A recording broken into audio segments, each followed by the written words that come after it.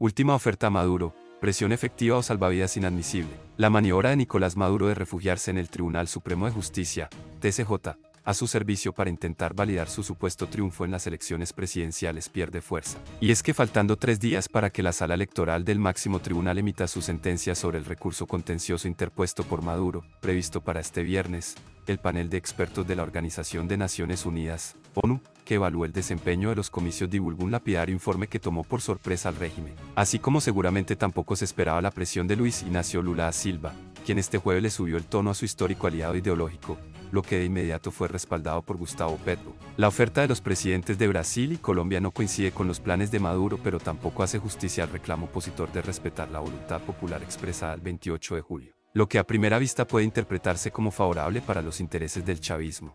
Tiene algunos matices que, naturalmente, no convencen a ninguna de las partes. El TCJ, esperando órdenes de Miraflores, se debate entre certificar los resultados anunciados por el Consejo Nacional Electoral, CNE, sin totalización ni publicación de actas o anular la elección con el argumento del supuesto ataque cibernético y convocar a nuevos comicios con el mismo organismo electoral y bajo condiciones incluso más desfavorables para la oposición.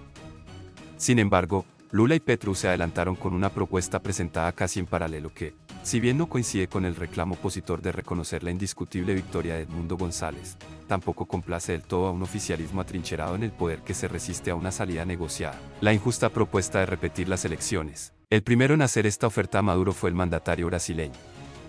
Lula habló en una entrevista sobre la posibilidad de conformar un gobierno de coalición e insinuó que en los seis meses que le quedan de mandato a Maduro podría convocar a nuevas elecciones, pero haciendo énfasis en que esos comicios se tendrían que celebrar con la participación de todos los candidatos, con la creación de un comité electoral suprapartidario y permitiendo una amplia observación internacional sin restricciones. Eso sin duda es un exabrupto para la oposición, que compitió con las reglas de la tiranía, tal como expresó María Corina Machado, pero también va en una dirección distinta a los intereses del régimen que, por un lado Maduro vocifera que no entregará el poder, y por el otro el presidente de la Asamblea Nacional Chavista, Jorge Rodríguez, anuncia reformas a las leyes electorales para impedir de forma total y sin disimulo la observación internacional. A los pocos minutos, Petro se sumó a la propuesta de Lula con un hilo en su cuenta de X, donde intentando poner la pelota del lado del régimen, soltó que, de Nicolás Maduro depende una solución política para Venezuela que lleve paz y prosperidad a su pueblo. A esto agregó luego una lista de buenos deseos sin ofrecer detalles de cada exigencia, levantamiento todas las sanciones contra Venezuela.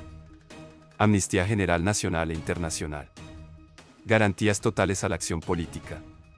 Gobierno de cohabitación transitorio. Nuevas elecciones libres. Con un escueto, sí, lo hago, respondió el presidente de Estados Unidos, Joe Biden, cuando un periodista le preguntó si apoyaría la convocatoria a nuevos comicios en Venezuela aunque posteriormente la Casa Blanca aclaró que el mandatario escuchó mal la pregunta. De esta manera, por lo menos Lula y Petro parecen alinearse con la oferta al régimen de Maduro de repetir la elección poniendo una serie de condiciones que eleven la transparencia y respeto a los resultados, pero que no están del todo claras. ¿Se esperaban esto en Miraflores? Muy probablemente no, pero tampoco es el escenario más justo para una oposición democrática que venció a una dictadura en las urnas con todas las reglas en contra. La firme y natural respuesta de la oposición. Yo les pregunto a ustedes, se va a una segunda elección y si no les gustan los resultados, ¿qué? Vamos a una tercera, a una cuarta, a una quinta, hasta que le gusten a Maduro. ¿Aceptarían eso ustedes en sus países? Fue la natural respuesta de María Corina Machado a la propuesta de Lula y Petro durante una rueda de prensa con medios internacionales a través de la plataforma Zoom. Y en cuanto al gobierno de coalición, la líder de la oposición venezolana respondió que, eso se ha dado en contextos democráticos y ese no es nuestro caso. La oferta de la oposición en la negociación con el régimen que encabeza Nicolás Maduro va por otro lado. Nosotros estamos ofreciendo incentivos y salvaguardas, pero en una transición a la democracia, plantear desconocer lo ocurrido el 28 de julio, para mí, es una falta de respeto a los venezolanos que han dado todo y que expresaron la soberanía popular. La soberanía popular se respeta y las elecciones ya ocurrieron, sentenció Machado negociación frente al todo o nada, es evidente que Lula y Petro no van a plantear un escenario en el que Maduro sea obligado a admitir públicamente su derrota, a pesar de que saben que perdió por una diferencia abrumadora en las urnas. Eso les haría perder de inmediato la posibilidad de establecer una comunicación directa con Miraflores. En su complicada mediación, donde no se descarta la intención de permitirle a Maduro ganar tiempo y ofrecerle la oportunidad de conseguir legitimación para mantenerlo en el poder, también hay mensajes entre líneas que ejercen presión sobre la cúpula chavista que dio un salto al vacío con el fraude cometido el 28 de julio apostando a todo o nada, donde esta última opción solo es posible mediante la fuerza. Y no se puede olvidar que el régimen, hasta el momento, tiene control absoluto de las armas.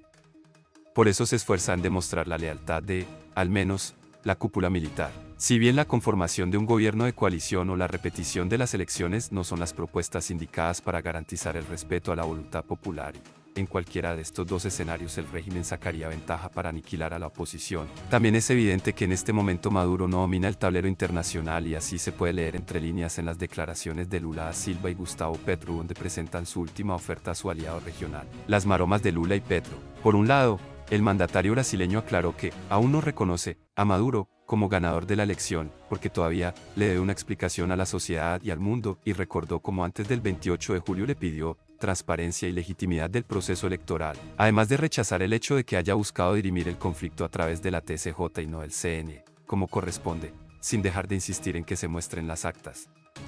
Y por el otro, el presidente colombiano soltó términos como amnistía y elecciones libres, aunque sin mayor contexto ni detalles. Todo esto mientras los cancilleres de Colombia y Brasil se reúnen en Bogotá para debatir sobre las posibles soluciones que buscan con esta negociación de la que hace un par de días se apartó México por decisión del presidente saliente Andrés Manuel López Obrador. Y como es natural, la posición que se sabe ganadora por una amplia mayoría y cuenta con las evidencias para demostrar. Pone alta la vara de la negociación frente a un régimen que solo se sostiene en el poder con las armas y frente a unos mediadores que procuran no incomodar a su histórico aliado político que se ha convertido en un lastre para la izquierda que se camufla de progresista y hace maromas para evitar otra oleada migratoria en la región, pero a la vez se resiste a aceptar que el retorno de la democracia a Venezuela marque el inicio de la caída de su proyecto continental.